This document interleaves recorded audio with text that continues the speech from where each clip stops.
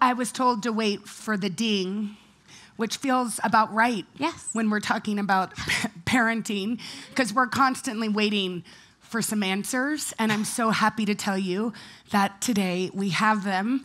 I'm Jenna Bush Hager. I'm the host of Hoda and Jenna on the Today Show, and I'm so thrilled to be here with you. And Aspen with these badass ladies, all of whom I have met before and can talk about parenting far better than I can. Dr. Aliza Pressman is a developmental psychologist with two decades of experience. She's also Hoda and my personal guru. she, you, if you have not read her book, the New York Times best-selling book, The Five Principles of Parenting, you should get it right now. I think it's in the store. Reshma Saujani, I hope I just said that right. Totally did. Okay, is the best. she is the founder and CEO of Girls Who Code. Um, yes, you should clap for her. She has also done some incredible work. She's the founder and CEO of Moms First. It advocates for policies to support mothers impact, impacted by the COVID 19 pandemic. Grace Bastidas is the editor in chief of Parents.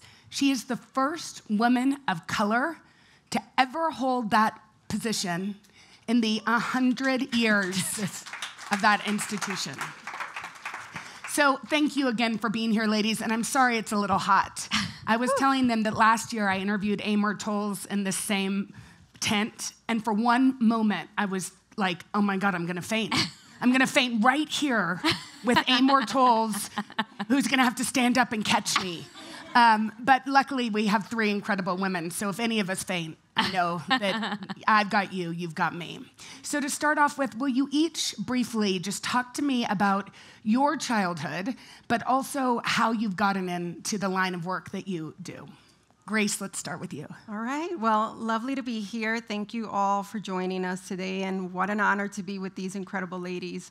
Uh, so, my childhood, I was raised by a single mother who immigrated from Colombia. So, at home, we spoke Spanish and ate Colombian food, listened to the music, the traditions. And at school, I was first generation speaking English to my classmates uh, slightly embarrassed by my lunch. I think that's a common story amongst first gen kids. And my, though my dad was involved, my mom uh, joined forces with my aunt to help each other raise their kids. Um, I've since learned that that's called a mommune. uh, but in Latin culture, there's the idea of the comadre or the co-mother. So the idea that there's somebody there who can be a second mom to your children. So, um, and my mom was a very hard worker, worked tires, tirelessly to provide for us. And one of the things that I, I learned the power of hustle from her, but I didn't learn the power of rest and the need to recharge. So that is what I'm modeling for my children and when I had kids, um, they're 9 and 11 now, one of the things that came to me is how am I going to pass on my culture, my heritage, all the good things about how I was raised, and also picking out the stuff that I wasn't crazy about. Um, and I founded a brand called Parents Latina. It's called Familia now, and it's for the Latina demographic. And that was a passion for me, knowing full well that we are living in a time where more multi ethnic and multiracial children are being born. And so, fast forward to 2022, when I was uh, told, Will you be the editor in chief of Parents? I said, Hell yeah. it's about time, right? Because yes. it's been 96 years since this brand has been founded, and we talk to all parents, irrelevant of their race, ethnicity, walk of life, whatever socioeconomic background. And I felt it was more than time to, to take that post. Yeah, for sure. By the way, when you said the thing about the mommune, I have my cousin sitting and makes me want to cry, which this is just group therapy for all of us, sitting in the front row, who, when I had to work, my first, um, for a big interview in Scotland, which didn't come to be, but whatever, she took my child to school on his first day. Mm. And I think oh. if you are not surrounded by those women that lift you up in this journey or, or men that lift you up, find them mm. because it is crucial um, for us that, that work. Aliza, um, you really are my guru. Tell us a little, and then let's just talk get straight into your five principles because they have become a guiding force in, in my life um, and in so many. Thank you. I'm so honored to be here and sitting here with all of you. And I will say, in, in the field of psychology, certainly, and I think this is true in many fields, but we say research is me search. And I am the grandchild of Holocaust survivors, and I was just endlessly mesmerized and probably lightly scarred by constant conversations about what my grandparents experienced. My um, whole childhood was filled with stories. Um, my grandfather's 99 and still here talking about oh, them. Wow. Um, but but it's such a blessing, and it's also it became so important to me to understand resilience. So I um, even in the five principles, they're really the five principles that are what's in our control because there's a constellation of uh, features that are not in our control, but relationship, reflection, regulation, rules, and repair is something that we can do ourselves, and it actually is highly linked with resilience. Mm. So amazing. Reshma, um, talk to me about your childhood. You were also a daughter of immigrants. Yeah and also how you got into this work. Yeah, um, I, I, feel like I resonate with so much of what both of you said. You know, my parents came here as refugees in 1973. Um, my mother was several months pregnant with my sister, and even though they were both engineers, my, my mother sold cosmetics, my father worked as a machinist mm. in a plant. And we grew up in this like little town outside of Chicago. There were like no brown people. You know, it was like the 1980s. My mom, my name was Reshma. I was so pissed about that. Mm. I'd go to like, you know, Kmart every day and like I was obsessed with getting one of those keychains yeah, that had your name on it. Hoda and I have talked about right? this. Even Jenna was foreign in and, the 80s. and I'm like, why didn't you just name me Rachel? You know, like so it was hard growing up being Reshma Saujani, having a mom who wore sari with a bindi on her head and, you know, eating Indian food.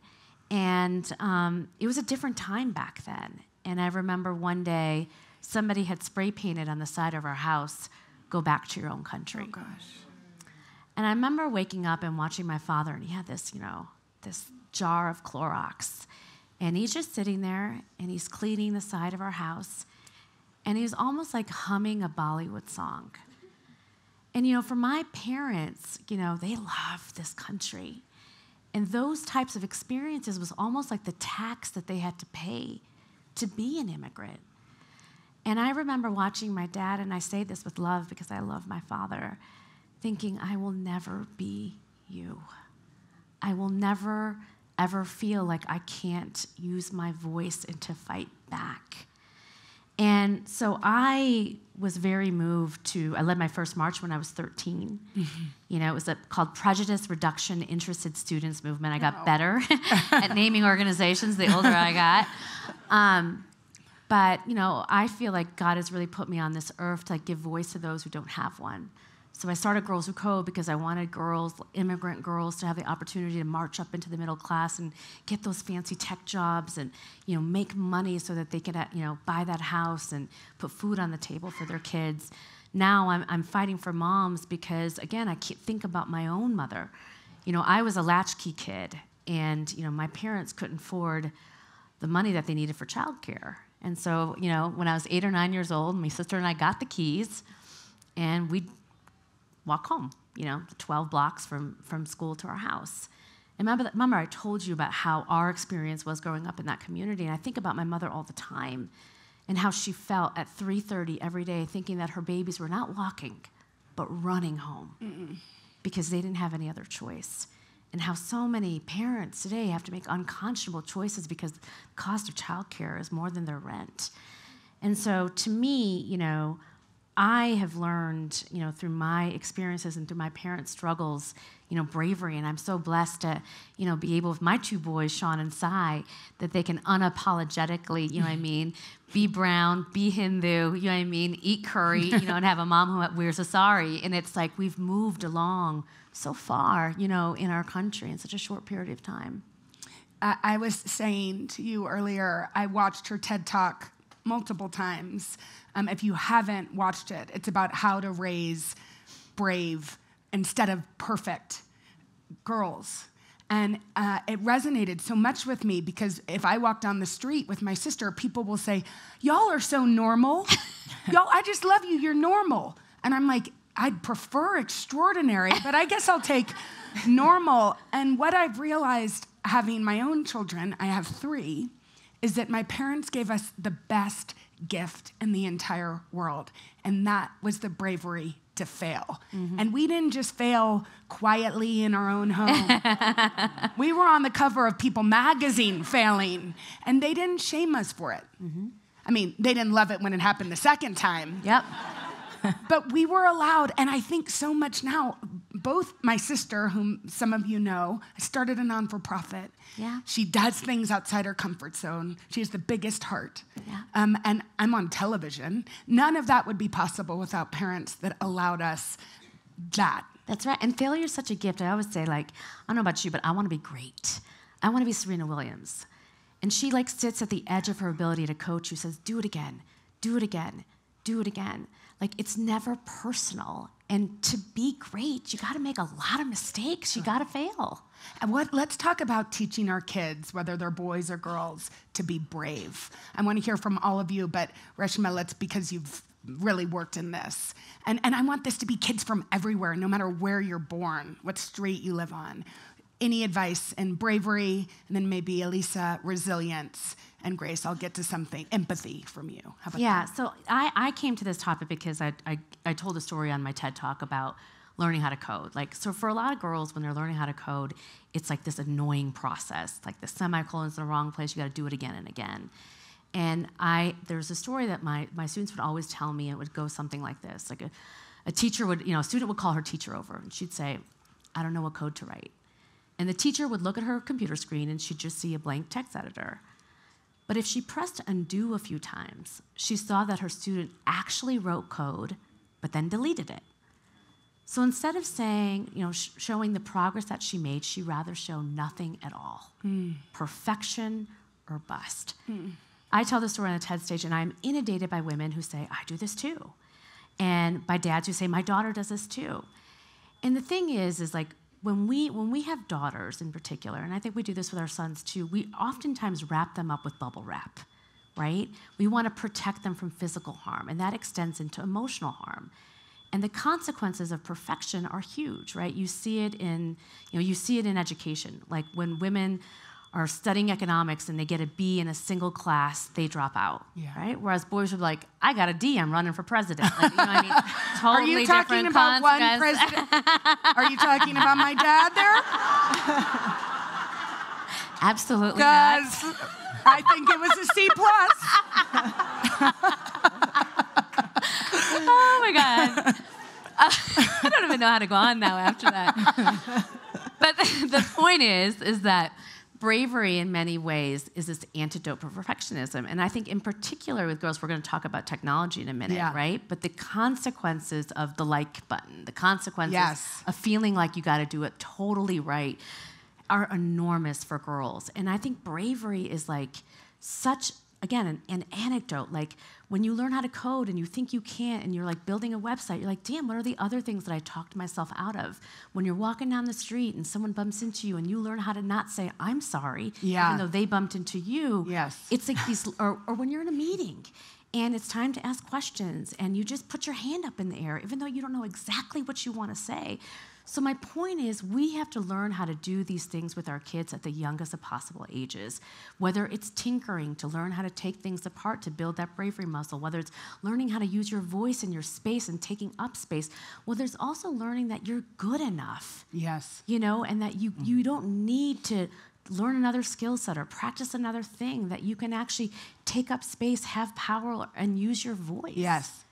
Um, Aliza, let's talk about resilience and raising resilient children and what you have found in your research. Well, I, you know, there's an area of bravery that has much to do with resilience. And so I would just say that it is so brave to be a parent.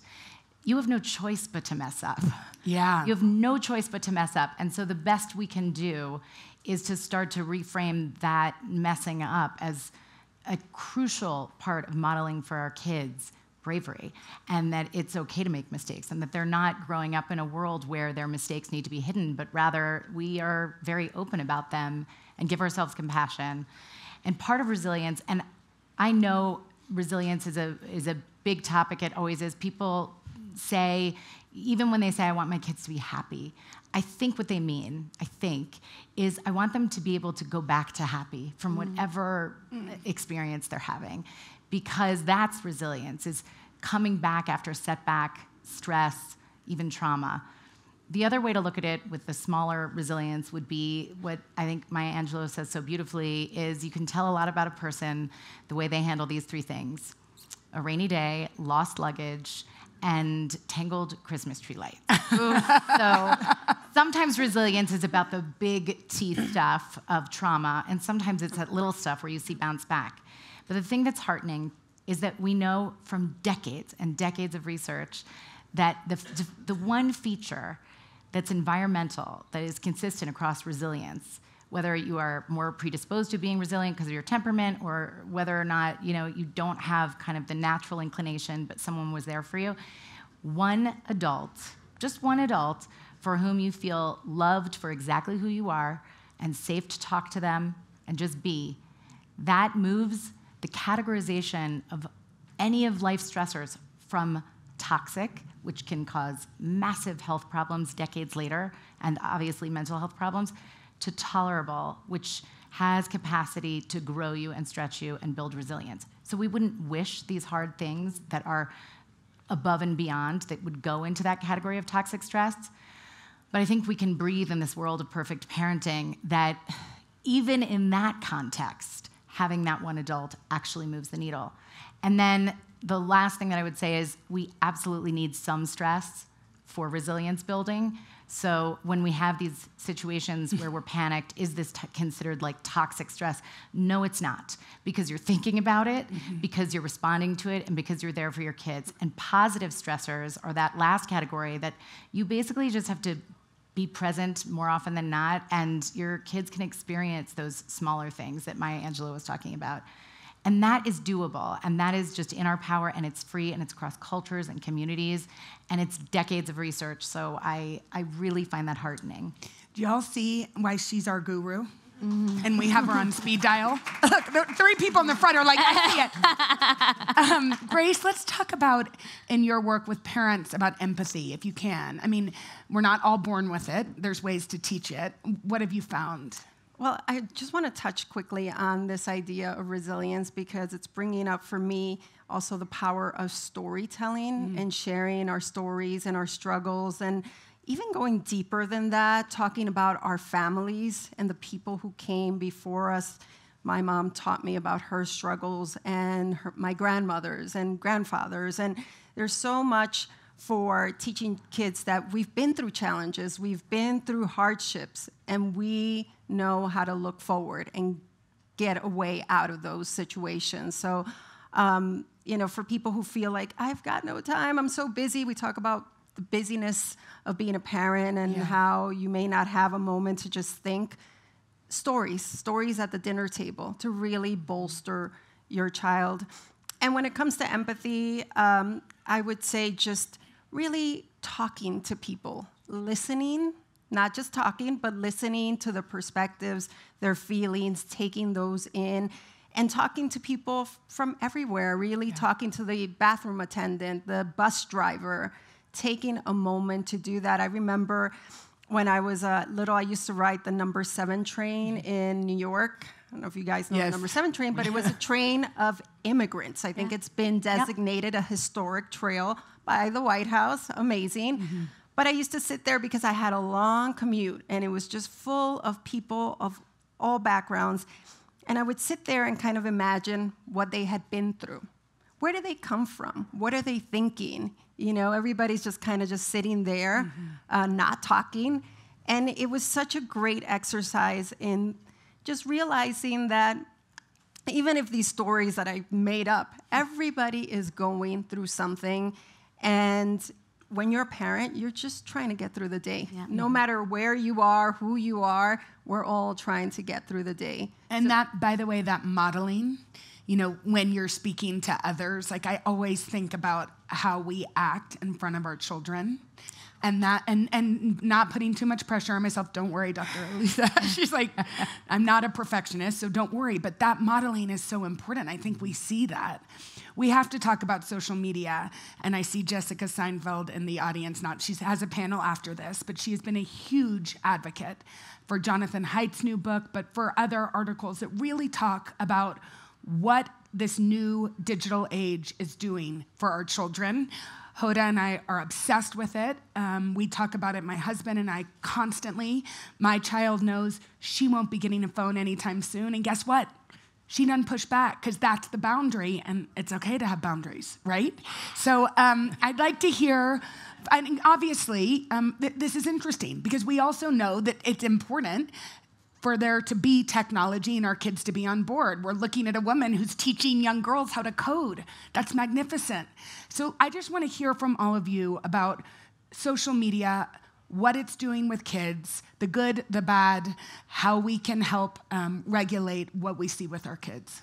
Um, yeah, I mean, maybe I'll just start because I get asked this question a lot about AI right now because um, we have a lot of kind of fears about AI and risk and safety. And so I think the thing about technology is that we oftentimes when technology comes out we put a lot of fear around it like i remember you know not being able to use my computer at law school or not being able to use google search yeah. you know what i mean at your job yeah. because we immediately thought technology comes and it's going to either you know kill our brains or like replace all our workers and you know when that happens oftentimes you know certain people get left behind, in particular women and people of color. The reason why 44% of Americans that, I mean, 50% of Americans that make less than $44,000 a year don't have broadband is because we operated around fear and risk rather than figuring out how to make sure that everybody had access yes. to the internet.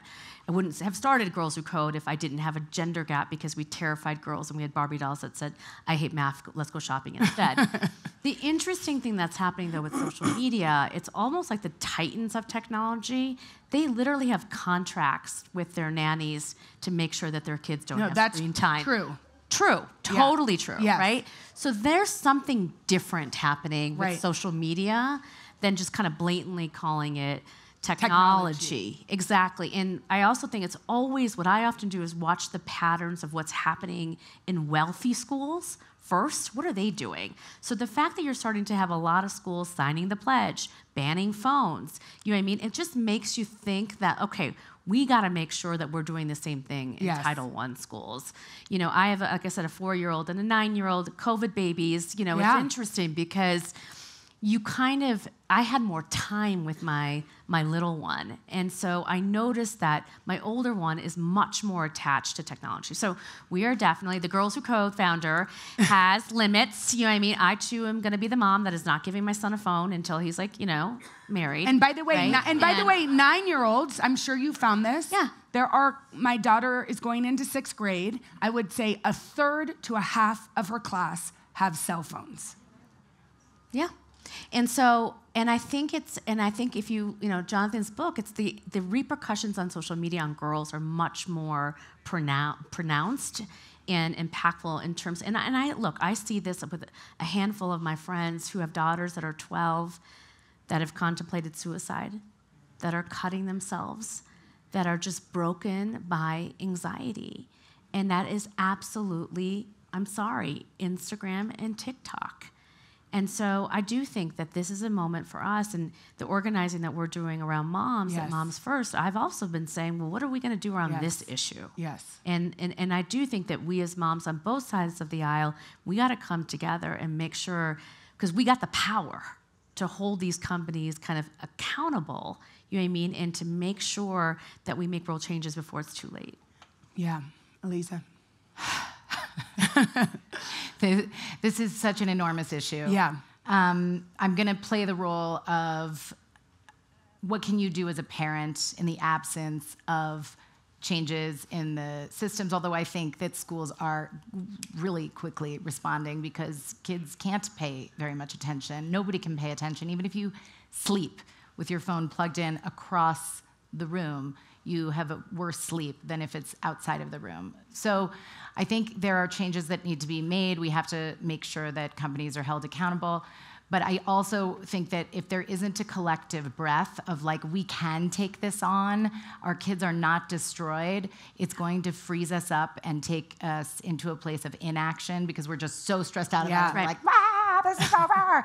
so I just encourage people to figure out, first of all, remember, you have to know your kid. Yes. Some kids, this is very dangerous. This is very dangerous. And that's why, you know, we have to get general laws put into place and we have to have protections. But in your household, there are going to be some kids for whom this is incredibly dangerous, particularly during those very tender years of emerging adolescence and adolescence when you're most likely using social media.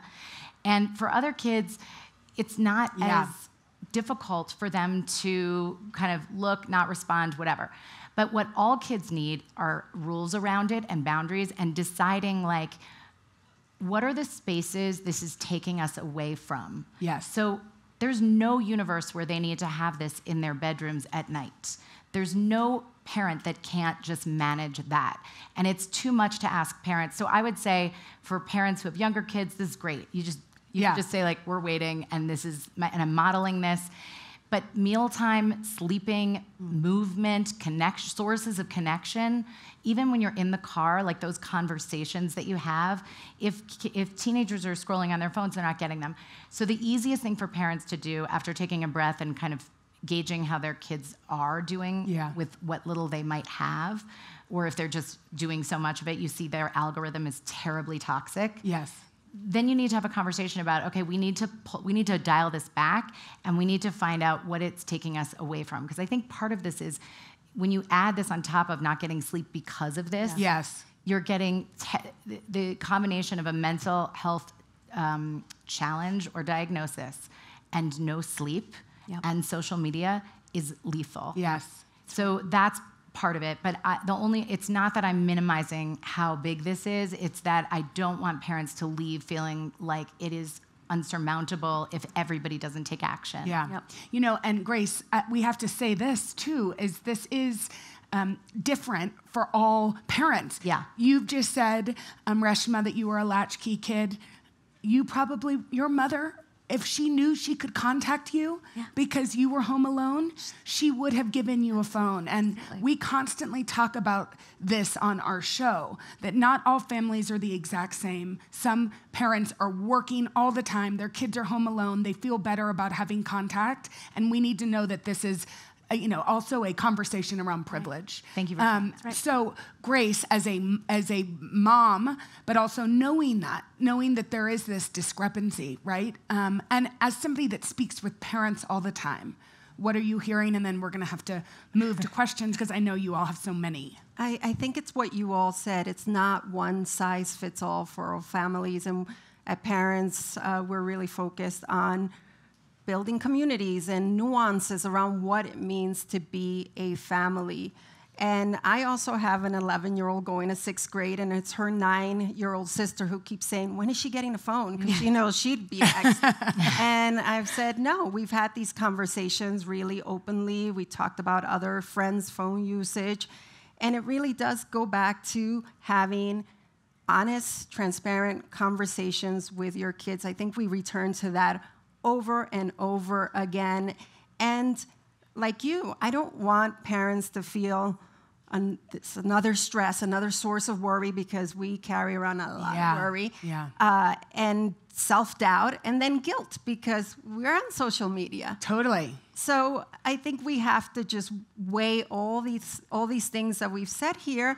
And in addition, for some kids, particularly queer kids and black kids and neurodivergent kids, social media may be a safe haven hundred percent. where they are not necessarily finding support in real life. So that's where they find their people. Yeah. So it's a it's it's complicated, but we have to take all this into account. I love that nuance, and I also think something you said is so important. The first story I did when I went back to work after having my 11 year old daughter was I went with a, a, a doctor at Harvard who were studying anecdotally what was happening to kids whose parents were constantly looking down at their phones mm. instead of looking into their kids' eyes. And the words that kids were saying, I'm not interesting, I'm not enough for my parents to look up. Mm.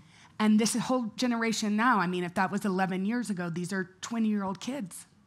So I think it is also, I mean, I'm so glad you said that because we're, we're looking down. Yeah. And we should be looking into the eyes of our children because we all believe that they are interesting and enough. Can I just add one, one question? I just want to add one thing because I do, I do want to make sure that we don't not talk about moms. Yeah, no, I was going to get to that. I want you to talk about moms because I, I said we are going to questions, but then the work that you're doing around the burden that is placed around yeah. moms is vital. Yeah. And I know you really hope that it actually gets into the 2024 debate, yes. among other things. Yes. I mean, it's so interesting. So, the, uh, the, the Surgeon General's here. The, the two groups that are suffering the most with anxiety and depression are teens and moms. And we often don't think that moms break, but they're broken. And you know, we're broken because, you know, and I had this epiphany for, for me when I had my second child, is like we live in a country that has no structural support for parents. You know, we're the only industrialized nation with no paid leave. One in four women go back to work two weeks after having a baby. Ugh. We're the wealthiest nation that puts the least amount of money into childcare. A report came out last week that now in every single state, parents are paying more for their childcare than they're for their mortgage. And we are the only country where men, when they have a child, they get a 6% increase, you know, to their yeah. salary. We lose 4% for every baby that we have, right? So we are not supported. And yet we're told as women, you know, the problem is you. If you had more confidence, if you got a mentor, if you color coded your calendar, you too could be free, right? It's the structure. And so the reason why we're so damn stressed is because we got no support, right? And, you know, the kids are not all right, but the kids are not all right because the moms are not all yeah, right. Totally. It's all interconnected. And so, yes, we are at Moms First, you know, we now have over 1.1 million members. 40% of our moms are from Republican districts. I often think issues like childcare, 85% of Americans are like, please, can you please do something about this? Yes. It's not partisan. Most of these issues are not partisan. And so we have to start organizing as moms. Same thing with social media and what's yeah. happening with technology. That is a nonpartisan issue that we should be coming together on, and we can come together on, but we've never been asked to before.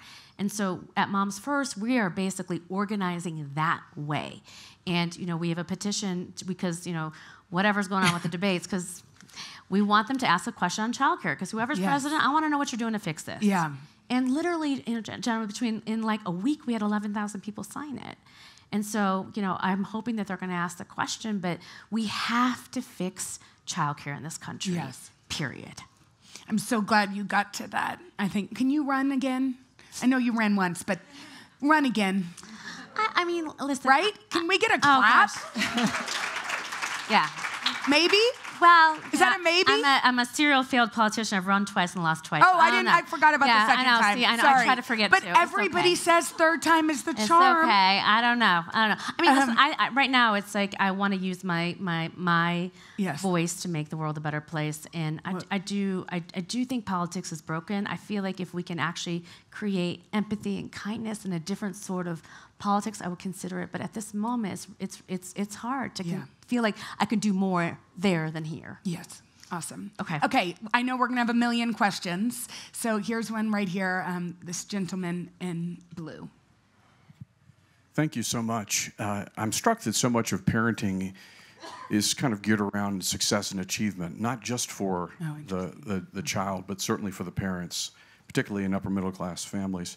So I'm sort of curious if you could maybe speak to the place uh, of kind of spiritual values mm-hmm. of things like grace, forgiveness, self-compassion, mercy, um, things that can really be healing and restorative in the in the treadmill and drive of what's next and how can we be more successful. I love that question. Who who wants to take I, that? I can talk a little bit about that. Uh, so At Parents, uh, a couple years ago, we did a survey to find out what people value right now because we looked at the different decades and how it's just shifted a lot. And we found, and this was just a, a couple years ago, we found that kindness was the number one thing that they want, that parents and readers of parents want to instill in their children, and that sense of compassion. So that's one of the reasons that we've been so focused on community building and just bringing back that humanity that we yeah. all missed during the pandemic. I was recently at my daughter's graduation, and the valedictorian stood up. They had a valedictorian. a fifth uh, grade? a fifth grade. Well, then wow. maybe they do care about success. and and she talked about COVID Jeez. and how when you know she came back to school wearing her little mask. And I thought, COVID, wasn't that a while ago? No, uh, because in a child's life, that was such a chunk of time. And she talked about how important it was to come back to school and feel friendship mm. and community yeah. and see diversity. So we are really thinking about what kindness means, what compassion means, what self-compassion means, because I think that starts with us as well. Yes. And really, you know, we talk about the this perfect image of parents and moms in particular, and we are showing that no, it's not perfect and it's messy and it's hard, and we all need to just pull together and know that we're in this together. Yeah. Other questions? One right here. Hi there, thank you. Um, I have maybe sort of an off the wall sounding question. Um, one thing that I have found, I'm a mother of a three year old, um, is what to me feels like the insanity of our academic school calendar. Why do we still have summer break where then parents' jobs don't change, but children are all of a sudden without their day, you know, childcare, and then there's this insanity around summer camps, and they're all different, and they're only a week long, and I feel like the mo- my friends that are moms and I like it's just an ongoing frustration. And will we ever, do you think, see a United States that goes to a year-round school?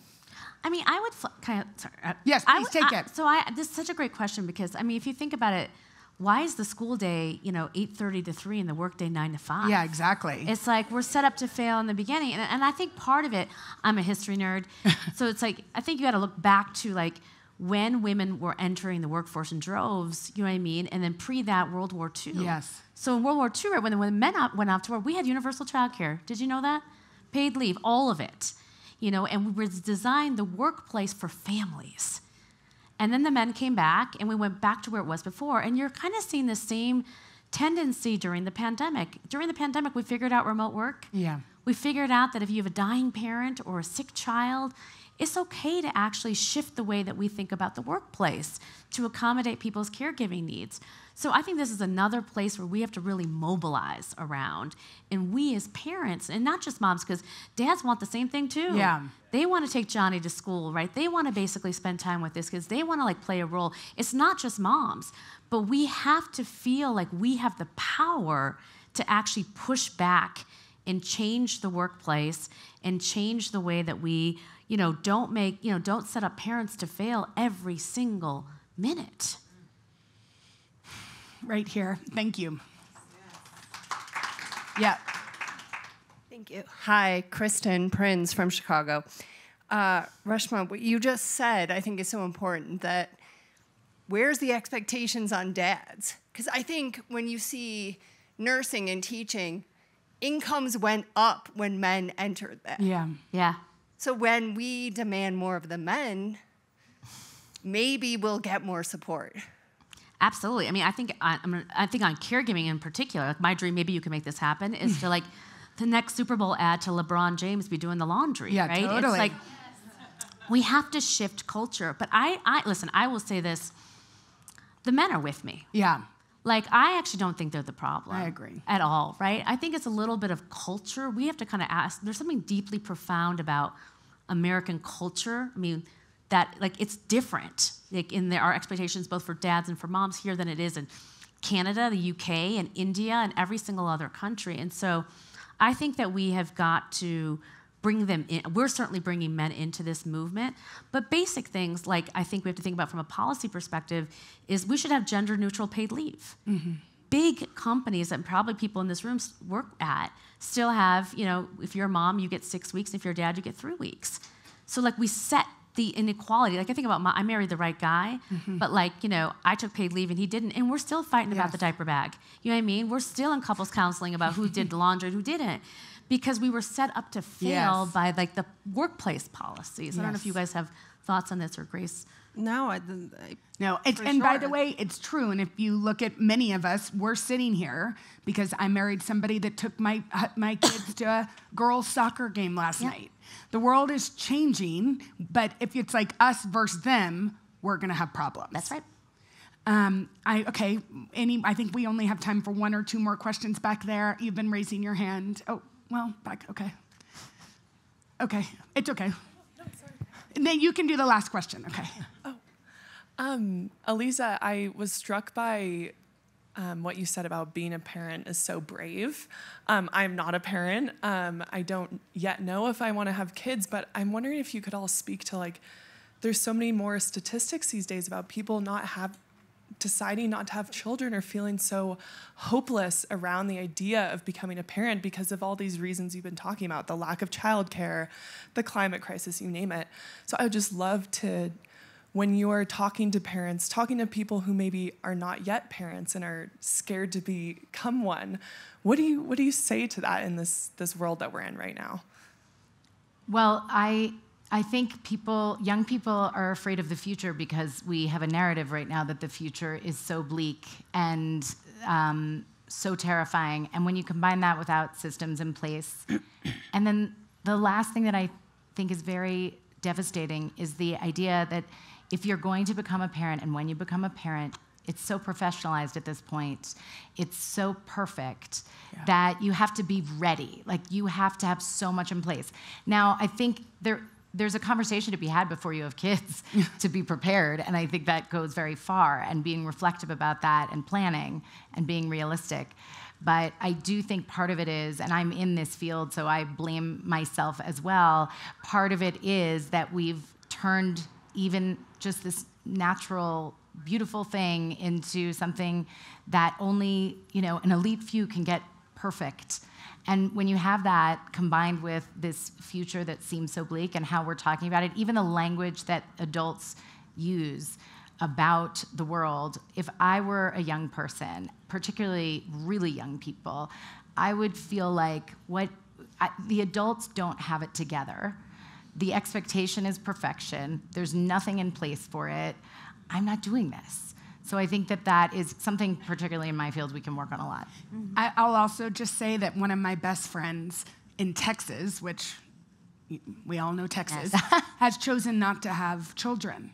And, it, and, and it's for those reasons, but for other reasons, because she doesn't want to be a mom. Yeah. And I think it's time that we have conversations around choice. Yes. And if you don't want to have kids, that's up to you you know? And so, um, and wait, anyway, we don't need to get all Jenna. into that. yeah. Um, there was one more question back here. She was raising her hand. I wanted to make sure we get to her. Yes, greetings, everyone. I'm Angela Patton with Girls for Change in Richmond, Virginia. Yes. I keep hearing this word mobilize, and I'm excited about that. But my question for the panelists is how do we do that when we continue to work in silos? Yeah. And what I mean is that this conversation we're having now, I work with a predominantly black community, and they are extremely behind in this future of what we see that we can do um, to better our parents and to make a better future for black communities that I work with.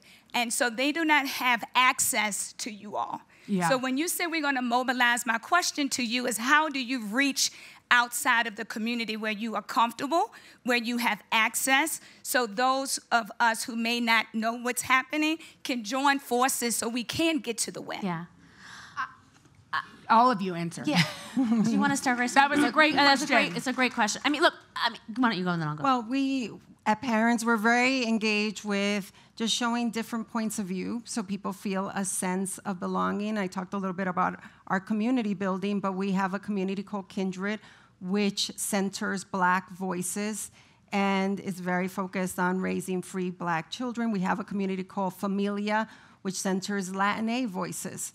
So we're trying to, even if you live in a community where no one looks like you, to create that sense of belonging because we know that trust comes with seeing other people who look and sound like you, even if they are not close. There's a sense of trust, of shared experience. So we are trying to accomplish that via community building. Yeah.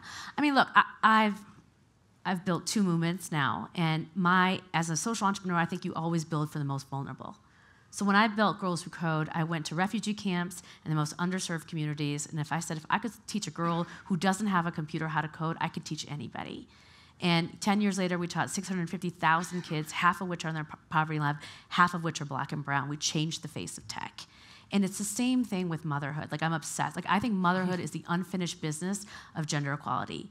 And the reason why we are still fighting for these basic things is because they divided us. Yeah. Why are we divided yes. between stay at home moms yes. and working moms, single moms and black yes. moms, Latino moms, Asian moms? We are all moms, period. And we all want the same things and we all have the same experience.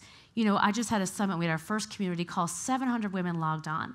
And I asked a question, I said, What is the one thing that you would change about American motherhood? You know what the number one answer was? Respect. Yeah.